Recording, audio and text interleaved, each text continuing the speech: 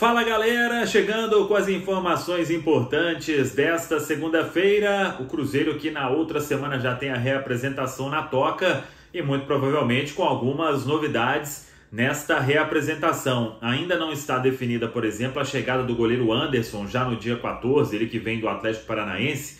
Ele assinou um pré-contrato, mas tem vínculo com o Atlético Paranaense até o dia 31 deste mês. Então, as partes estão conversando para ver se o Atlético libera antes para que ele possa chegar no dia 14 de dezembro na reapresentação na Toca da Raposa 2. Aí o Rafael Bilu vai estar normalmente, o Neres já tinha sido anunciado e outro que pode estar e muito provavelmente vai estar é o Matheus Vital. Os clubes ainda vêm mantendo uma certa cautela, mas tá tudo muito bem encaminhado entre as partes para uma vinda em definitivo do Matheus Vital, ele que está fazendo algumas atividades com um preparador físico particular, até para iniciar aí, não chegar totalmente zerado, né, ou totalmente sem um ritmo legal por causa do período de férias, ele que até terminou a temporada jogando no Corinthians, mas está tudo certo. E o Matheus Vital, muito provavelmente no início da semana que vem, chegando a Belo Horizonte. Aí o Cruzeiro também não vai anunciar nada antes, nem o Corinthians, penso eu,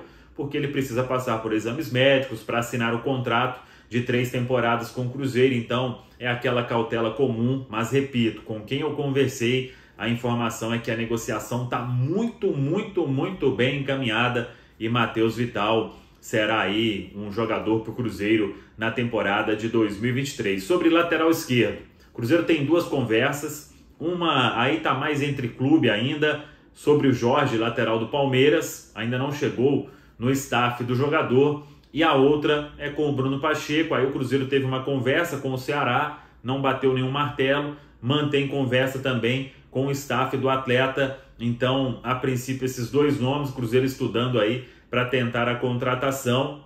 Lembrando que vai ser preciso, claro, nos dois casos, uma pedida dentro da realidade financeira do Cruzeiro. Vamos aguardar os próximos passos desta história. O Cruzeiro também quer pelo menos um zagueiro para iniciar a temporada de 2023. Tem muito nome sendo consultado, já falei aqui da situação do Raul Gustavo, do Corinthians, mas a princípio o Corinthians não pensa em liberar. Mas o Cruzeiro está sondando outros nomes no mercado para tentar achar aí um zagueiro que vá elevar o nível técnico na zaga. Então, não apenas fazer mais uma aposta do nível dos que já estão, Cruzeiro quer subir um pouco o nível ali na zaga, pensando já na disputa da Série A do Campeonato Brasileiro. Diretoria trabalhando, buscando várias opções no mercado e a gente tentando apurar sempre aqui da melhor forma possível. Eu quero dar um recado agora para você para começar a semana também bem informado sobre as ofertas do meu parceiro Supermercado BH.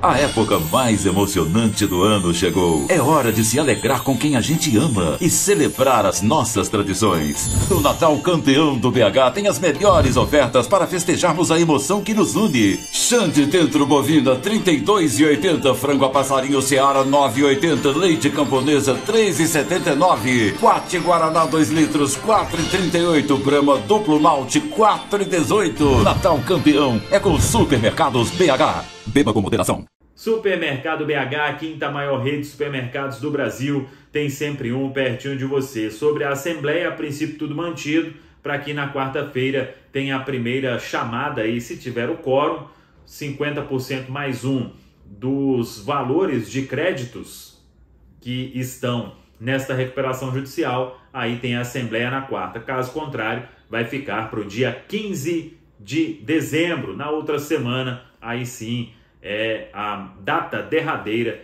para que aconteça a Assembleia de Credores do Plano de Recuperação Judicial do Cruzeiro. Tá falado, pessoal? Um abraço, até a próxima. Vamos que vamos!